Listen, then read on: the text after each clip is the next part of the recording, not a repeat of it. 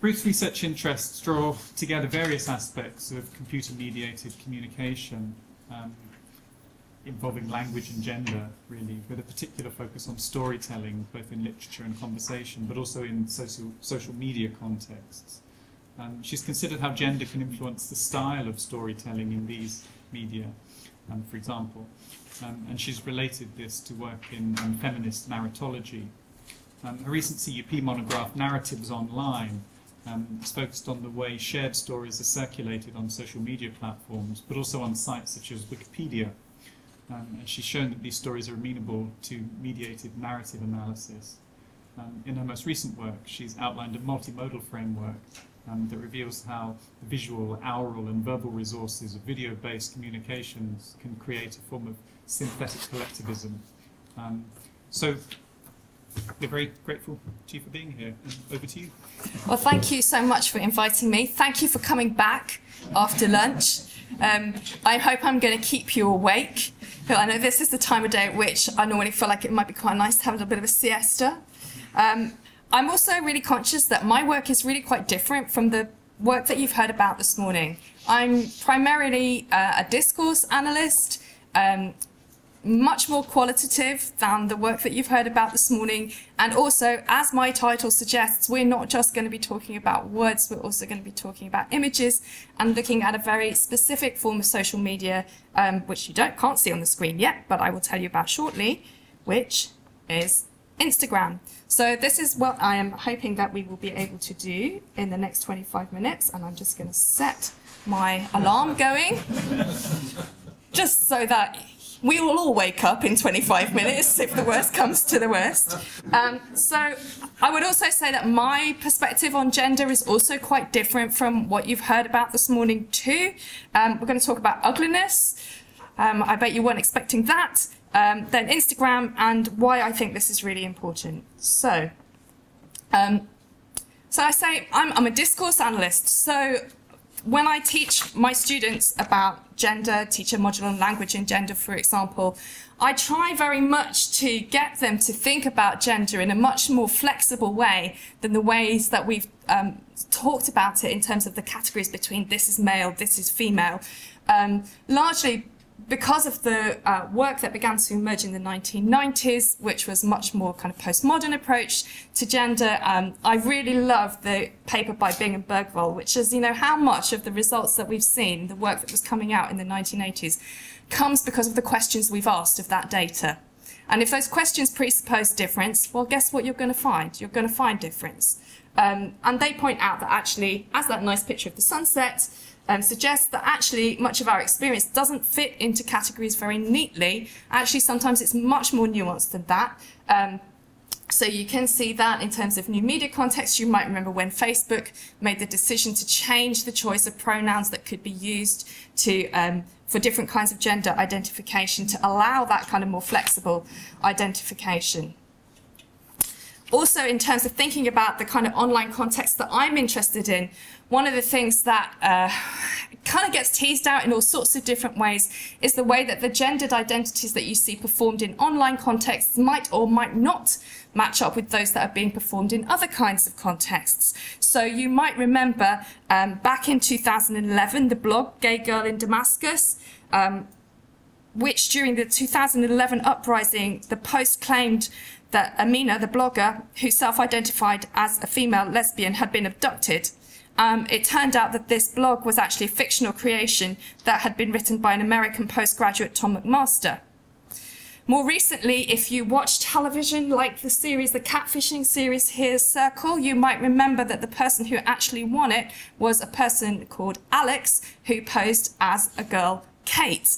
Um, and you might remember that in both of these two instances, although we see that there's this possibility for playful uh, decoupling of different kinds of gendered identities, the social reactions to these two instances showed us that actually there are still very strong societal expectations of authenticity, that who you present yourself to be in an online context is also who you present yourself to be in an offline context.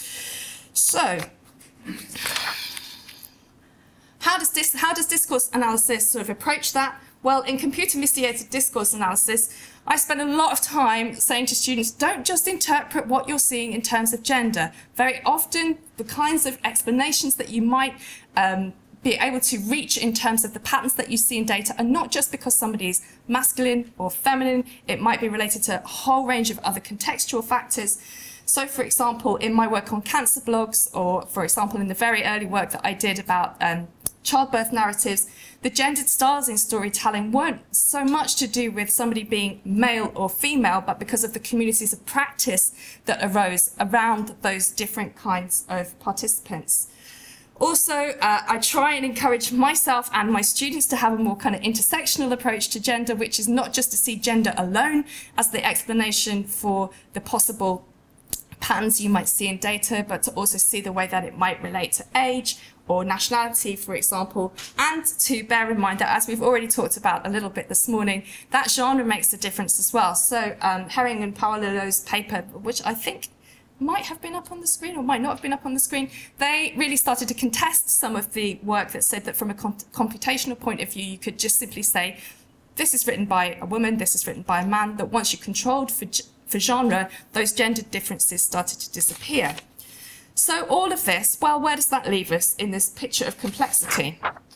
If we're finding more similarity than difference, if gender is discursively constructed, if it's not really about being male or female, that's all about language. But when we look outside the studies that look at discourse in terms of the verbal content of discourse, you start to see a much more uh, binary approach to gender that starts to look much more for patterns of difference. So looking outside computer mediated discourse analysis itself to studies that come more from the social sciences, we find, for example, Thelwall's study looking at image sharing practices across different um, platforms and finding that females shared more images overall. They shared more photos on Snapchat than on Twitter. And they tended to be more concerned with liking and commenting, for example. We also find that in uh, studies that have been doing uh, content analysis of Instagram or Instagram images, they too have found actually very strong patterns of gender stereotypes in the content of the images, um, specifically feeding through into particular kinds of content in Instagram that Instagram is particularly no notorious for, the so-called fitspiration, thinspiration um, trends in Instagram, which simply reproduce certain kinds of gendered stereotypes that you find in adverts where you see um, the kind of muscular, muscularity and masculinity and the thin-toned femininity being reproduced in those images.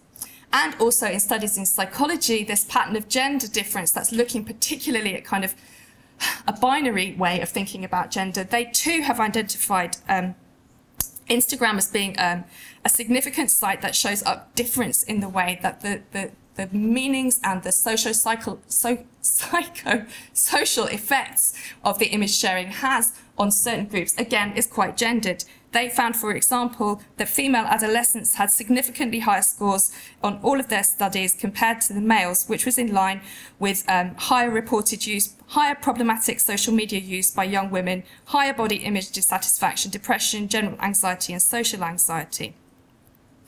And we know from some of the literature in mental health that gender also makes a difference. For example, that eating orders tend to affect young women and gay men more than they affect, affect heterosexual men. And we know that there is also a rising uh, concern about the increased rates of suicide for young men. So we have this complex picture where me as a discourse analyst is saying gender doesn't really matter, it's really discursive, it's being constructed in all these different ways. And then we have this other set of research from the social sciences saying actually in terms of the real world consequences and the practices that are going on, there are socially um, and gendered patterns that are going on in how people are using the images, what it means for them in their day-to-day -day life, which have um, very significant real-world consequences. So Instagram is my focus today. Um, so Instagram as a site for gendered display includes a whole range of material which goes right the way through from kind of hegemonic masculinity. So on the far, oh, I don't know how to make this point. Over here, you have bits of Instagram. And in the middle, you have gym lad. And then to the right, you have hashtag drag queens. And on the far right hand side of the screen, you have hashtag like a girl, which is kind of mocking or contesting different kinds of femininity. So I'm going to preface all that I'm going to say next with the caveat that there's a whole diverse range of kind of gendered identities within Instagram, which I can't possibly, in the space of 20 minutes, talk to you in a satisfactory way about. So I'm going to narrow down to look at a very particular part of it and talk about ugliness. Well, I thought I should explain, like many things in my life, comes back to my family and this image here. I have permission to show you this. The reason that I don't have uh, many images of the selfies in the uh, rest of my presentations because I don't have informed consent to show you everything that I've looked at. This is my beautiful daughter. Um, this is a birthday collage that was um, made by her, one of her best friends and posted on her Facebook timeline when she turned 18 um, nearly two years ago. And I looked at this and went, what is that about? because I would never take a picture of myself like that and send it to anybody. So I was like, what is this about? And I started to talk to my students about their selfie taking practices and what it meant to them and these kinds of pictures that you can see in the bottom left, center at the top, and the far right hand bottom are snaps, um, so called ugly selfies. And that's what started me getting interested in what are ugly selfies? What are they being used for in people's relationships? What are the kinds of discourses that are emerging around them? So that is why I'm doing what I'm doing because, like most things in my life, it comes back to my family, as well as being very socially important, of course, and intrinsically, intellectually stimulating. I hope. I'm going to prove to you. we'll see. Okay. There we go. All right, so what do I mean by ugliness 2.0? Well, in my exploration of, first of all, ugly selfies and then ugly kinds of images, I have come to the conclusion that the discourses around ugliness are shifting in social media and being used for a whole kind of complex array of meanings. And that these are used as part of gendered displays. So I want to persuade you this afternoon that Ugliness 2.0 is both an aesthetic, affective, and moral form of evaluation that is used to negotiate interpersonal relationships and is constructed as an embodied attribute on Instagram. So I started off looking at ugly selfies, the kinds of images that I just showed you of my daughter um, there. Um, and I then suddenly thought, oh, I'm not really sure this is the only kind of ugliness because it's a very particular kind of construction of ugliness. So I started to gather data also with the hashtag ugly. And what I discovered was that actually ugliness has what I describe as a long tail. So you have at one end of the spectrum a kind of playful construction of ugliness going through to what you might call a very painful construction of ugliness. And these posts vary in all kinds of interesting ways. And so what I did when Marcus invited me to come and give this talk was then to tap into this data and say, what are the gendered patterns in this data set? So just to show you a little bit what I mean about the ugliness being different in these two data sets, which we can think of not quite as two genres, but two definite distinct constructions of ugliness. So I said I'm a qualitative researcher, but I did my undergraduate degree at Birmingham, which means that you have to know about corpus linguistics and use that a little bit somewhere. Um, so when I gathered my data, what I did was I did um, uh, uh, basically I did keyword search and then I did a collocational search for ugly within these two um, hashtag threads. And you can see that for the hashtag ugly thread, the strongest collocates are fat, sad, worthless, depressed, alone, depression. I think you'll agree these are fairly negative, um, strongly loaded with negative effect. Not the case for ugly selfie at all. What we see is bored. Um, there's a reason that you see blue eyes there. I haven't got time to talk to you about it today, but you can see this is much more bored, funny, self-mocking, and that comes through in the colour codes there. So, these two types of ugliness then we don't know anything about the gender yet, but what's been interesting in terms of the me mainstream media coverage of these types of ugliness is that they strongly are positioning this in kind of gendered terms, where it's particularly associated with young women. So in terms of the playful forms of ugliness, the mainstream media are interested in this as a kind of feminist reaction that's pushing back against beauty ideals. In terms of the painful forms of ugliness, it's associated with the controversies that you'll be well aware of at the moment in terms of mental health, eating disorders, and accessing um, fairly, uh, I would call it toxic content on Instagram and, and the effect that that has on well-being for young people. So we would suspect that from the media coverage there would be some kind of gendered differences in the way that you would see ugliness constructed in these different data sets. Um, you might expect that from the literature in psychology and social sciences. From a linguistic perspective, would you expect to see the differences? Don't know. Let me show you what I found. So, this, as I say, is a case study in Instagram. To tell you specifically what I did, first of all, I gathered two sets of data, um, two 1,000 sets of Instagram posts, one hashtag ugly and the other hashtag ugly selfie. They were extracted in June and then September last year using the tool Netlytic, which used to then work for extracting data from Instagram. What Netlytic does is it gathers for you the caption. It used to gather the comments. It doesn't gather the image. You have to go back and look at the image separately, which is also important because from ethical point of view and legal point of view and GDR, GDPR point of view, you don't have the rights to take the image. You have to look at them separately and annotate the image separately, which is also another reason that I'm not showing you any images today because it's complicated. So what I did was annotate this data set using the NCapture facility in NVivo. Um, oh, for all of you who are into quantitative approaches, just forgive me for the uneven numbers there. They're basically a result of what happens when you take away the noise in the data set. That's what I was left with. Um, so uh, what I did was to do a corpus linguistic analysis of the captions actually of the whole data set looking at the frequency of particular items in the collocations. I then went back and painstakingly went through every single flipping post, looking at the identity that was signaled um, for the post owner. Then I did some analysis of the images using inductive categories, which were partly derived from Goffman's work, looking at the face and body display, looking at eye gaze and mouth expression, drawing on the work from Ekman, um, and I coded that according to the individual person within an image, not the number of images itself. So if you see that the numbers don't match up, that is why. Okay, so to talk us through the verbal positioning first.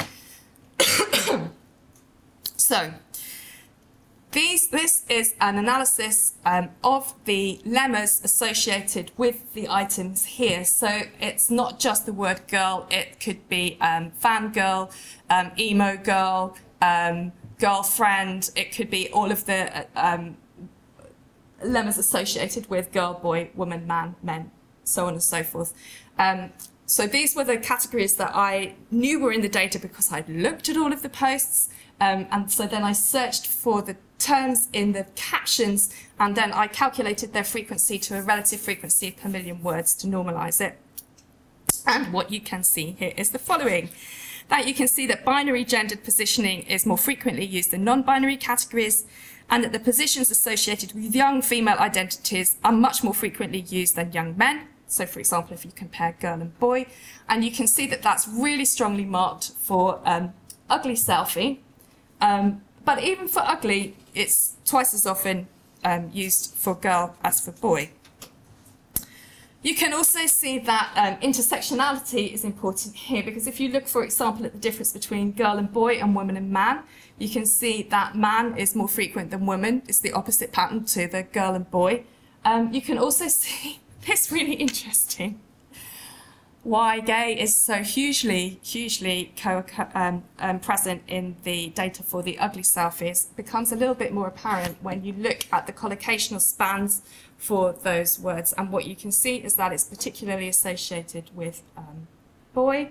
Um, what you see in terms of the collocations for um, just the ugly data is that you can see that there's a strong suggestion here already that there are kind of mental health concerns coming through for girls but not for boys. That doesn't mean that they're not there for the boys, it just means that the way that the hashtags and the captions are being used, in a way the most searchable part of Instagram that drives the algorithms, that seems to be feeding something that's tapping into something that's um, a gendered pattern.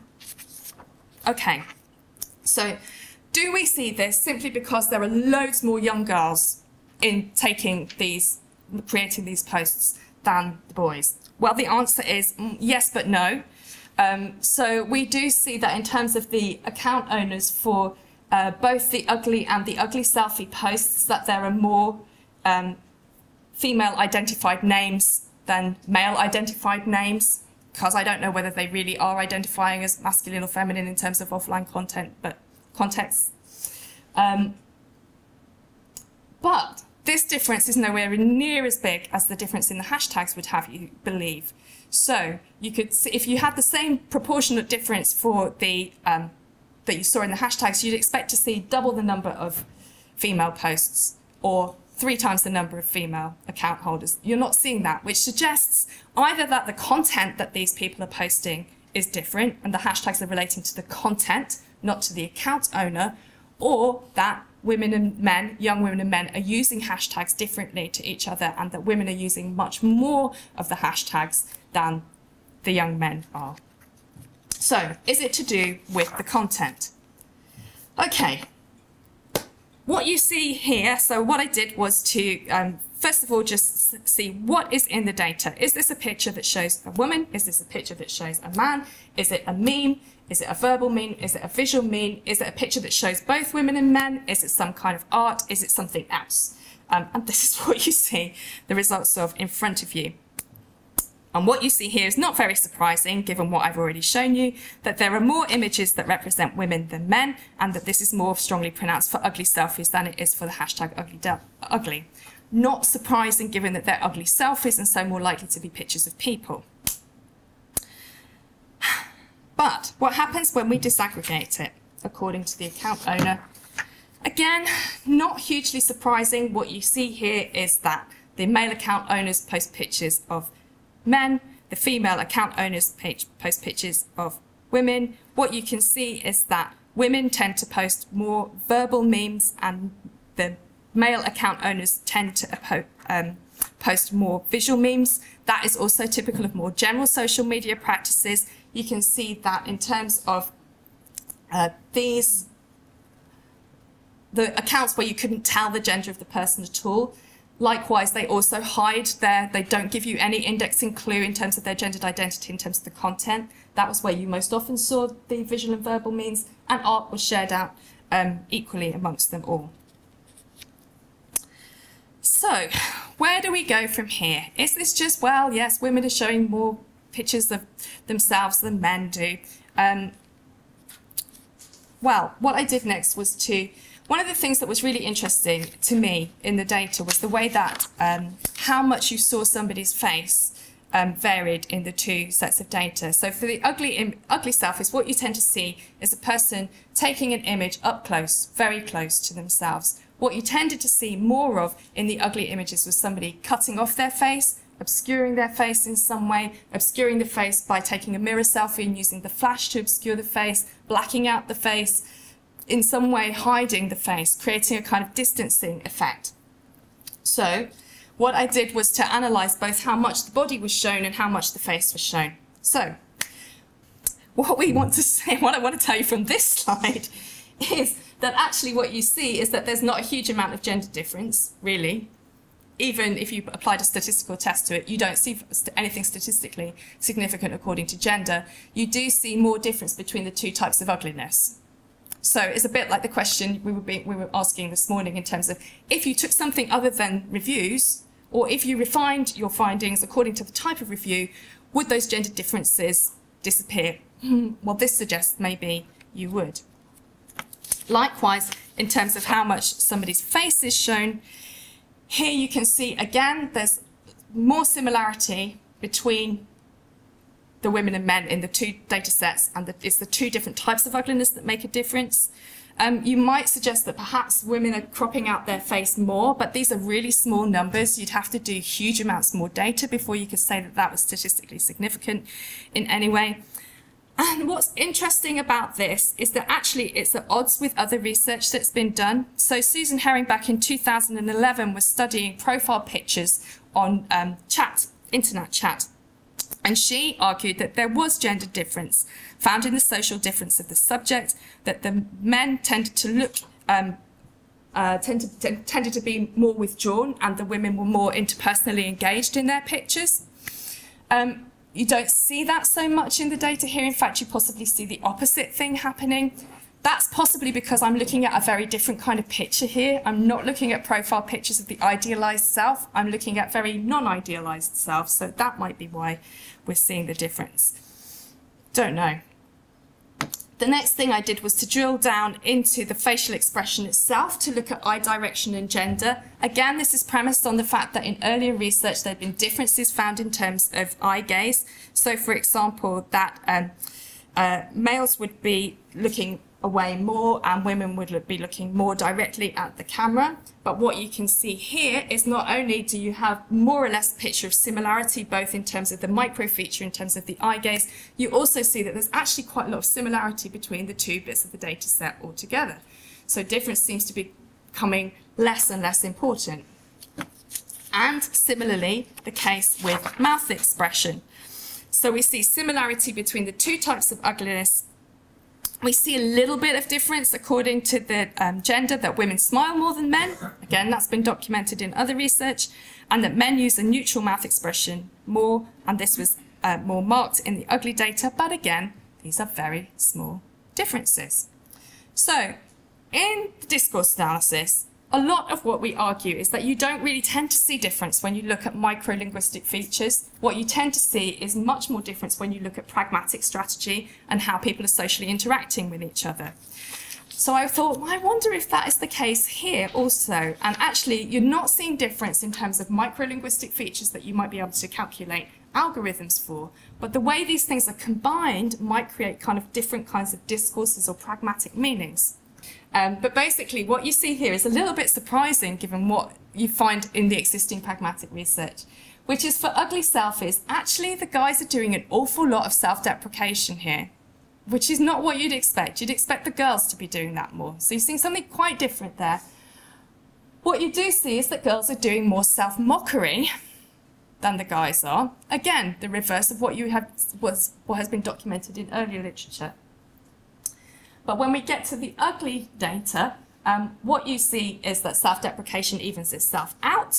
Um, what you see is that it's young women who seem to be using their images more to convey meanings associated with mental health, so particularly eating disorders, um, where they will show um, pictures of their um, very thin bodies um, and where they will uh, show images of cutting and self-harm that's the other reason they are not M images in here because they are quite distressing. So let me close by rapidly going through my uh, closing points.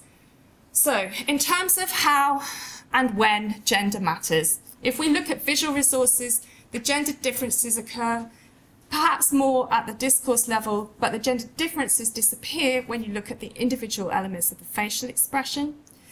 We perhaps might extrapolate from this that these are perhaps different kinds of gendered responses to beauty ideals for women in particular, because the self-mockery images actually causes their face to become disproportionately larger. It looks, makes them look um, fatter rather than slimmer. Whereas the mental health images do the opposite thing. In fact, they remove the face altogether um, and they show the body to be thinner. So it seems that there's a particular kind of beauty ideal for women that has been particularly responded to here, and that the hashtags that I showed you at the beginning, or those patterns, perhaps suggest that actually young women are making this much more visible than the men are, which is potentially um, something we might want to think about how that is addressed and what we might want to do about this. Doesn't mean that we should ignore what's happening with the masculine identities being constructed here, it's just that they don't show up in such easily quantifiable ways. Um, why does this matter? It matters hugely because of what happens in the real world in relation to these images. Um, it shows us that in terms of if we're going to understand what's happening with these images and the effects that they have on young people, we need to look at the visual analysis, not just verbal analysis.